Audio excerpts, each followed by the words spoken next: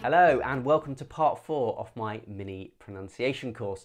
My name is Julian and I am your teacher.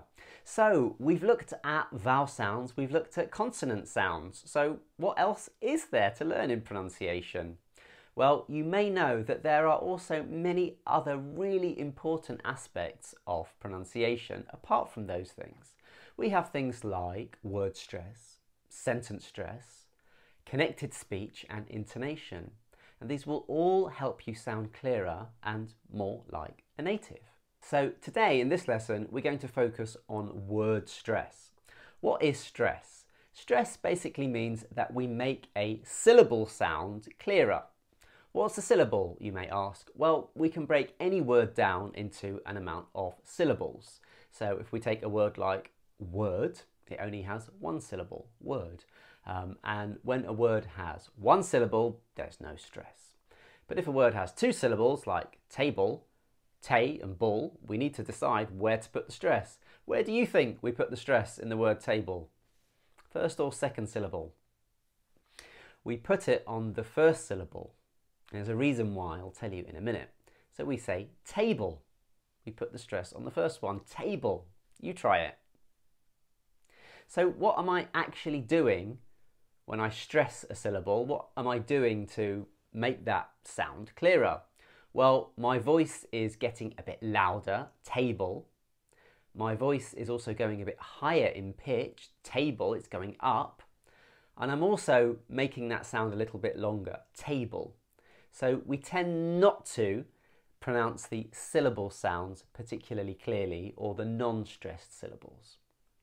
Okay, so when it comes to stress, there are what we call patterns rather than rules that we follow. That's because, as you probably know in English, it's very difficult to find hard, fast rules or 100% rules. So that's why in stress we talk about patterns. So the pattern I'm going to teach you today refers to two syllable words. So when a word has two syllables and it's a noun, like table, we usually put the stress on the first syllable. However, when the word is a verb and it's two syllables, we usually put the stress on the second syllable. So we're going to look at some words now, which are very flexible words because they can be either nouns or verbs depending on how we say them, where we put the stress. Okay, so if we look at the first one, if we take this word, how do you think we say this word? Well, we can say it two ways. We can say it as a noun, which is object. Notice the stress is on the first syllable because it's a two syllable noun, object. But if we want to use it as a verb, we can say object. I object to that decision. Object. So notice how my voice goes up and I emphasize the second syllable more when it's a verb. Object. So we have object and object. You have a go at saying that. So what about this word? Where do you think we put the stress? Well, if it's a noun, we would say a record. I bought a new record. But if it's a verb, the stress moves to the second syllable we say record.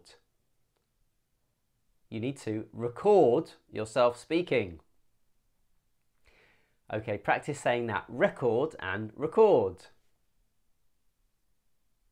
Okay, let's try one more. We've got present, which is a noun. I bought you a lovely present. And as a verb, you've guessed it, it will be present. I'm going to present an award. Present. So you practice saying that present, present, present, present. Brilliant, you're doing really well. So now I'm going to give you two final tips on how you can improve your pronunciation even further. If you are a professional who needs English for work, maybe you use it to speak to colleagues or clients, maybe you teach English. If you want to be more confident if you want to be clearer, if you want to sound more like a native and know that you're pronouncing all the sounds and all the words correctly, then I have made the perfect course for you. It's called masterpronunciation.com. There's a link in the email, and in it, I've included everything you need to know about pronunciation. We'll go into detail about how to produce all the sounds, and we'll also look at all the other important aspects of pronunciation, like word stress, sentence stress, intonation, and connected speech.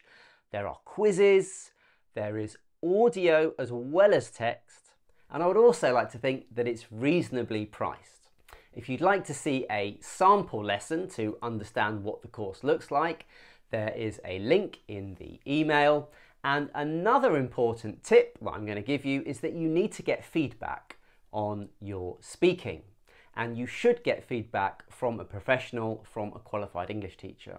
And that's why I offer a pronunciation analysis report.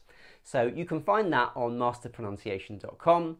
How does it work? Well, you simply record yourself speaking. I will listen to it very carefully and then I will provide a report to you based on how you speak, and I will tell you the specific sounds that you're having difficulty with, and I'll tell you what you need to do to improve.